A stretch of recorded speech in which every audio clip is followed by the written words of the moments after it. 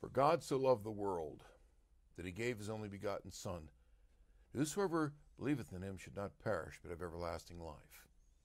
The word for world doesn't refer to every individual in it.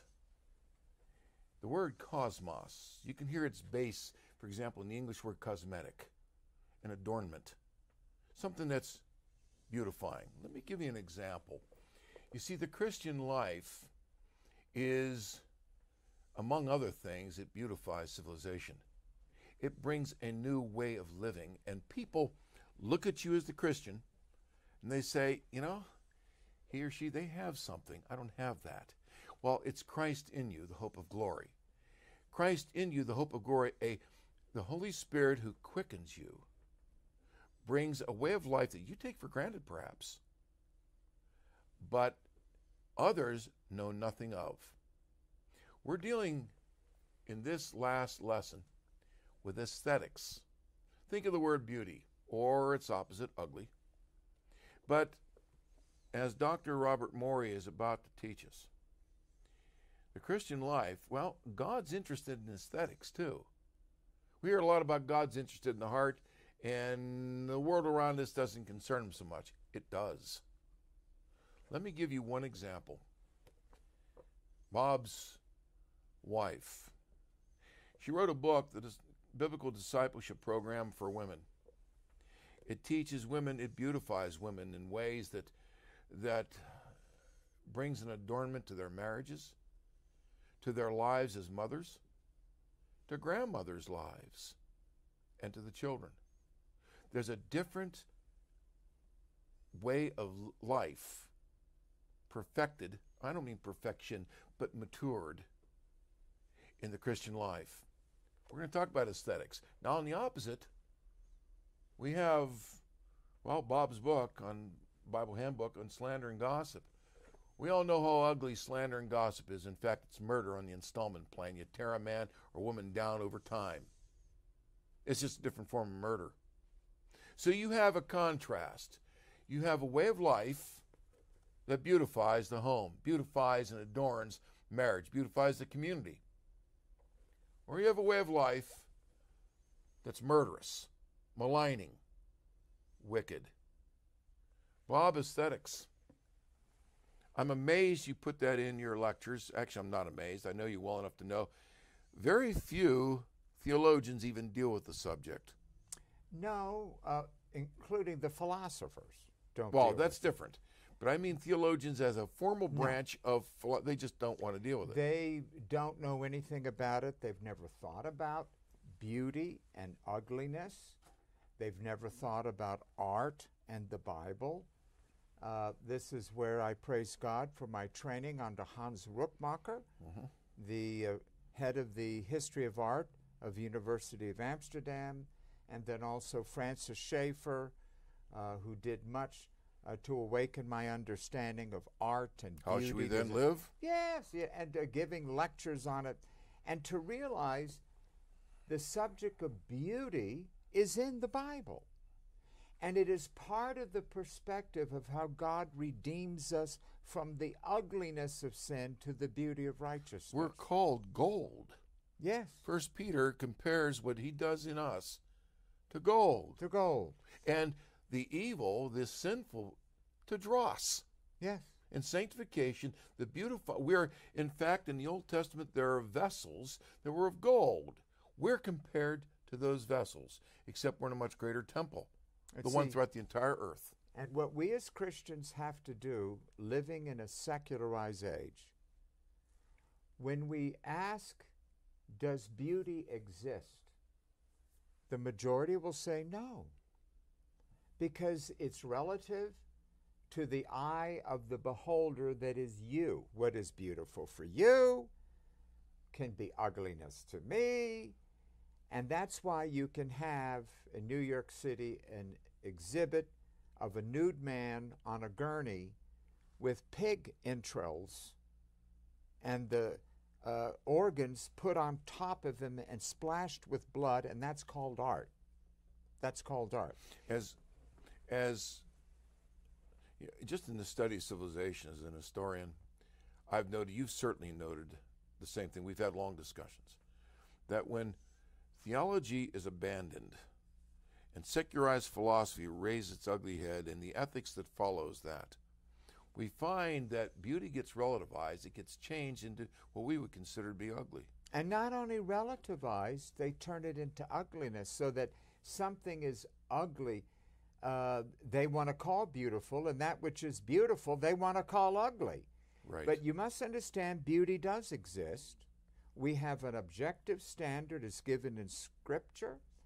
And such questions as a member of college if a flower blooms in the desert and no human being sees it, is it beautiful? I raised my hand and I said yes, because God sees it. because the standard of beauty is in the mind of God and revealed Yes. in Scripture and seen in the face of Jesus Christ. Yes, His we- work, his ethical work. You know, wherever Christians go, yeah, it- missionaries, let's say. Yes. Where they go, they beautify, they clean. I love the word clean. I've always loved They that word. They clean it up. They clean up the mind by their preaching, of course. Yep. Now, I'm not talking about perfection, but that isn't all that get, gets cleaned. Hygiene, community hygiene, personal hygiene, filth and dirt and debris washed away, um, clothing, covering, nakedness, thought, adornments, even the monuments, the structures, the paintings, the music Look becomes at the Van objectively Dyck, the become- that's right. Look at the cathedrals. Look at even what uh, Da Vinci did, and you see the Christian world and life view that has the solution to evil is in the plan of plan of God. That art should reflect creation, the beauty of it, so you can have a landscape painting. The fall, art should also express the horror of the wickedness and the darkness of sin, the hopelessness, and redemption. You know, it used to be in ancient societies, in teaching ancient history, you can go back, you look, I like, as you do, go back to original source material. Yes. Read what they said back there where we have it available. One of the descriptions that comes up, you'll find in the camps of armies like Alexander's and uh, of the Babylonians, the Assyrians, and in their streets is filth, dung, human excrement, urination. Um, in Deuteronomy, now you might laugh at first when I bring up a simple passage in the law of God. In Deuteronomy, God said he wanted the men be equipped with a paddle so they would dig a hole Outside, outside the camp outside, and the they camp. would bury their human refuse. Now you say, oh, what's that got to do with beauty? Oh. Tell you what it has to do with beauty. The principle of burying that which is ugly, putrid, and in fact dangerous bacterially. God wasn't going to get into a whole description on hygiene and, and biochemistry, microbiology. He simply They said bury it. understand it. He That's said right. simply, don't do Bury it, it. in the village, the town, the camp, Right. And bury it. The Jewish people knew that. They didn't know why necessarily, but in obedience, you don't throw human refuse in the streets. Okay. Well, now transfer that to the Western Western civilization that adopted these principles first among the nations. What we have done, again, don't laugh. This is very serious. You combine the issue of cleansing with water and burial. Maybe we ought to marvel a little bit more of those that thought through the Christian standard of both in a simple flushing of the toilet but it keeps our civilization clean. It helps rid of bacteria. A simple precept like that in the mind of God carried forward has helped us be a hygienically clean people. Now, what happens now? As a civilization turns the, the- As goes the back to evil. civilization turns its back upon the Bible and upon God, ugliness becomes the rule, not beauty. Right. As they no longer accept the sovereignty of God and that He is in control of history and God is not a God of chaos but of order, they have to produce music that reflects their worldview, which is free will, chance, and luck. Jackson Pollock is an example. And he wanted to do art that would express the randomness, that there is no order to the universe. So he tied some cans to the ladders, uh, the handles on a ladder that were put up high on a string, hit them with a, uh, like an ice pick so they would begin to drip, and then just had them swinging wildly. But you see, it still didn't work. Right. The cans were swinging according to the laws of thermodynamics, the Physics, right. and gravity. He wanted to show art that was pure chance. He couldn't do that in the end. That's right. The same thing with those who would throw something up against a, a canvas, so that uh, there was a rebellion against beauty, and you had the uh, Impressionists, and then you ended up with Gauguin, and you ended up with paintings. It could say a nude descending the stairs, and you don't see a nude or the stairs. and you begin to have ugliness. And you see the young people today embracing that which makes them ugly, Right. repulsive, with all of the piercings and all of the tattoos. Varied colors through hair. And it, it simply means this. I've said to this one young lady who dyed her hair so she could look like Raggedy Ann, I guess. Remember that from mm, childhood? I do. You would look so much better without that. She said, Well, that's why I dyed it. And you see, when our young people today, when they dress a certain way, do their hair, they want to be ugly. That is a repudiation of God's order, which says that we need to beautify the beauty of holiness, the beauty of a Christian home. Take music, for example. John Cage produced a record that when you put on the needle, there's nothing but the scratches, called silence. He said, We have to understand there is no God. The universe is silent. So he produced it, there's nothing. Or he went and sat at a piano to play.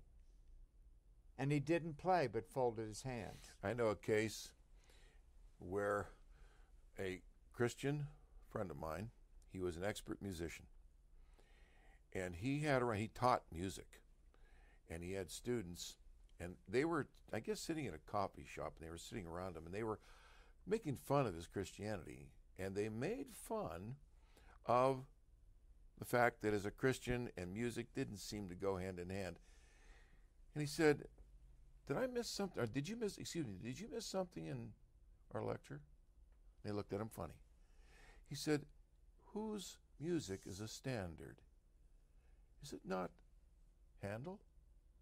Bach And they- Mendelssohn, yeah, Handel is the, actually the, the they all acknowledge that's the standard. yes. Then you have Bach, and you have, but Handel, the Christian man, Yeah. and Bach, Johann Sebastian, and they were silenced and ashamed. He said they were ashamed. They were ashamed because they mock a man for his Christian his views on music, when the very standard they were taught by other professors, Yes. as well as by him, was Handel himself. And Handel was a Christian man. Well, you can have some forms of so-called modern music. Ski ah, Yeah. ee, ah. Right. It's ugliness. Disjointed. It's disjointed. It doesn't land. It gives something that's disconcerting. It gives a depression. And you can have music. I had a, a roommate in college, tremendous problem with depression. I said, Joe, you're always depressed. What kind of music do you listen to? Well, he was listening to this crazy stuff. And I said, What I want you to do is start listening to some of the classical and some of the good Christian hymns. Mhm. He did so, his depression left. I believe that in a home, you raise your children with good Christian music. I took my kids to the Metropolitan Opera. My daughter went on to become piano performance and voice. We did that deliberately because we believe in art. That when we have beauty, that is a biblical standard, it means harmony. See, in the biblical teaching, uh, beauty meant harmonious, uplifting. The effect of art should be to lead you to God, to Right. lead you to righteousness. That which is ugly leads you to riot. As a father, one of the things I wanted to do and, and did do, especially with two of our sons, um, at night, very low, so they could get to sleep, obviously. We put on Christian hymns, the historic, the great hymns of the Yes. faith. Not this And- modern rock no, and roll that no, is I didn't not want- beautiful. It's frankly, may I tell you, the 7-Elevens are ugly. The great Christian hymns, but distant so they wouldn't be kept up. Yes. But nonetheless, they go to sleep, which with the kind of hymnology that elevates the soul, elevates its thinking, Yes. elevates the comfort of the soul, the orderliness of it. Yeah. Max Weber, that same Weber Yeah. thesis in the introduction, stated in the Protestant Ethic and the Spirit of Capitalism, he said, My discourse is about economics. He's dealing with how Christianity, Christian doctrine promotes sound and honest and effective business ethics. But in his introduction, he said, You can take the same kind of uh, understanding when it comes to music. He said, All societies have a version of music, but only Western society, in the Protestant understanding of that, and he went through a series of descriptions on harmonies, you know, the the uplifting of the of the uh, lyrics themselves. He described them scientifically, and he said, "This is not what my thesis is about, but in all areas of society where Christianity goes, that's what follows when the Bible is used." He wasn't even, shall we say, the most consistent Christian by any means. He's just an honest historian. These are the results. Yes. That's the adornment. God so loved the cosmos, a form of life so gorgeous that he sent his son to die for it in our lives that we might, by our hands, put something in place that reflects his glory. Bob, your your lectures do that. They clean people up. They edify, they build them. Those truths are necessary for this day.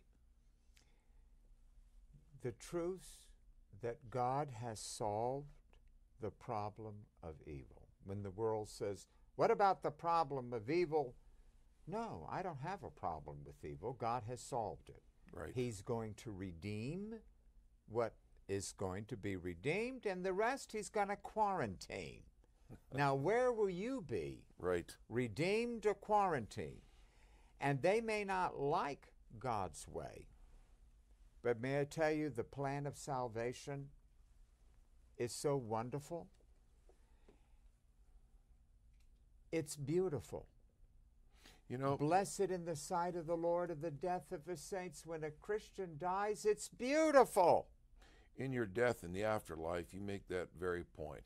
A work that discourses on well, we all we're all going to face it. Yes, unless the Lord returns, we'll all We're have all to going to face this. That's right. There is an afterlife that's going to be it's beyond description.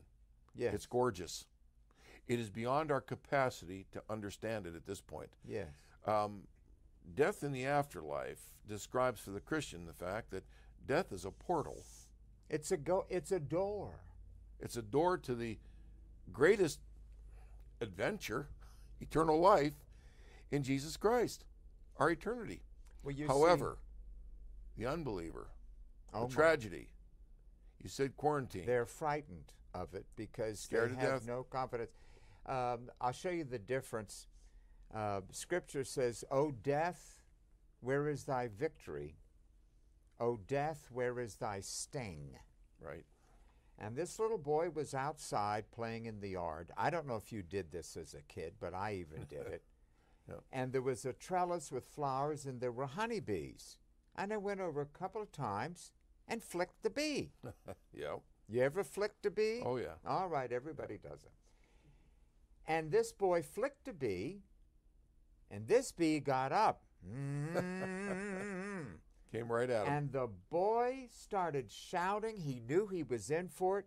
He ran to the back door. He opened the screen door, went right in, but the bee made it inside too. Mama was at the sink washing dishes, and he shouted, The bee! The bee! The bee! She lifted up her apron, Mhm. put it over him. The bee landed on Mama's arm, dug its sting in, pulled it out, and then started flying. And the boy said, I hear the bee! The bee! He said, Honey, you don't have to be afraid of the bee. Its sting is in mommy. Mhm. Christ took the sting of death. For himself. So when death buzzes at me, as it has, I don't fear death. Death is the ferryman to take me to the celestial city. And you see, even the death of the saints is viewed in Scripture As as precious. beautiful. Precious, Not that's as right. evil, but as beautiful right. and precious because it is a portal into the very presence of God. That's right. Now, for an unbeliever who doesn't have faith in anything but himself, He has no such hope. he has no such hope in he has life no or in death. And he has no solution No for the solution to the problem. Same thing with these The aberrant theologies Right. today the open view, middle knowledge, uh, all of these uh, denials uh, uh, of Paul's justification, new view, all of these modern heretical movements, they have no solution to the problem of evil. They leave you hanging with a God who did not know, a God who did not care, and a God who did not do anything. and they discount their problem until they have to face death itself or the death of a loved one. At that point, they have no real solution in their philosophies. They fall to the ground. I'm going to mention an outstanding work on the Trinity. And Bob, you wrote this. We have we haven't emphasized the phrase throughout these lessons, but I'd like you to I'd like you to learn our worldview, we've used worldview enough times. Ours is a Trinitarian worldview. Our view of the world emanates from the mind of the triunity of the Godhead Father, God the Father, the Son, and the Holy Spirit. Three distinct persons. They are distinct, each of them fully God. In their union, they are a full worldview and much more that we don't we will learn in eternity. We have a Trinitarian worldview that beautifies the world. Be it the hygiene in the camp or in the city, be it the cleanliness of the body, the washing of our of our bodies, the, the removal of debris and filth, be it the cleansing of the mind, where lust is to be repented of, be it the clothing we wear, the art forms you've spoken of, the music that we play, the society, a civilization adorned by the name of Jesus Christ. That's aesthetics. That emanates from a Trinitarian worldview. It's not man's concoction. It flows out of the very nature of God to the glory of His Son, who brought it to us that He might bring that glory to the Godhead. And therefore we enjoy it and enjoy Him forever. I once sat with an unsaved professor from a college, and he said, Explain to me what you believe. And I began at the beginning. And did creation, fall, redemption, and how we're chosen by the Father, Right. purchased by the Son, sealed by the Spirit, blessed God, three in one. And when I finished, his remark was, That's the most beautiful thing I've ever heard. It's a Trinitarian worldview. The biblical view of salvation is right down beautiful. All that the Father gives me will come to me. Him that cometh unto me, I, will in no wise cast out. And so it is that the Father is given the precedence, not that he is uh, not that he is greater as God, but the other two members of the Trinity have voluntarily submitted under his authority, In the economical trinity. the is what we economical call it. Trinity. They're God all work. equal. God at work. Yes. The Father and the Son have covenanted to secure my soul.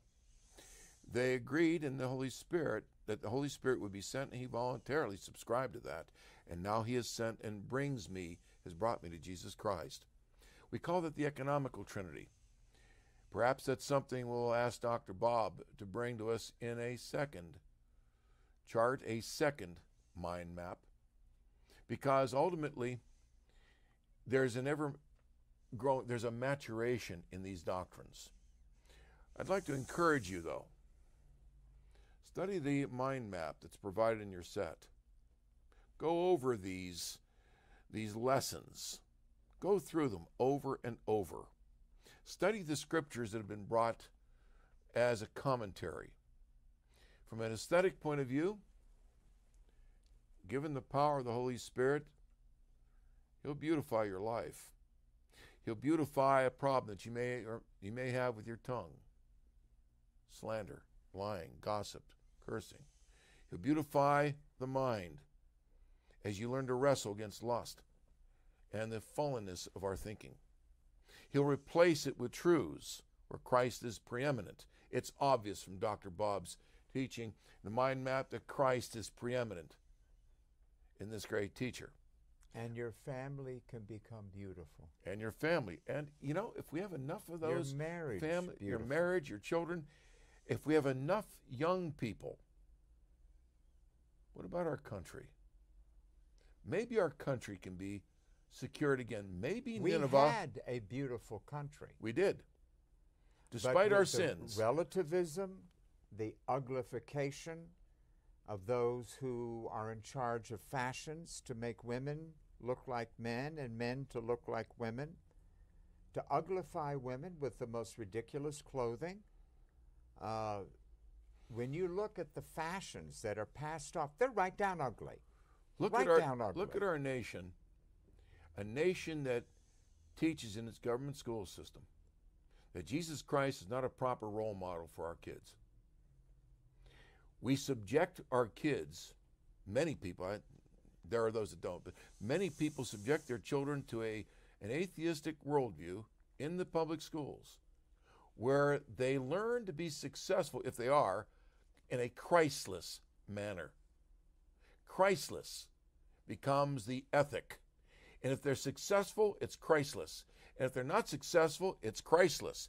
Either way, it's without Christ. A Trinitarian worldview starts at the beginning. You just heard the doctor. It starts with the triunity of the Godhead and works then through the lives of the individuals, their homes, their families, their churches, and ultimately our nation. And you've brought, we have brought evil down to where we live. See, the, the philosophy of evil, the quote problem of evil, it's not some esoteric philosophic thing dealing with some ethereal kind of evil. It's dealing with the ugliness in our lives, which only Jesus Christ can cure. With that, Dr. Bob, thank you so much. God bless you.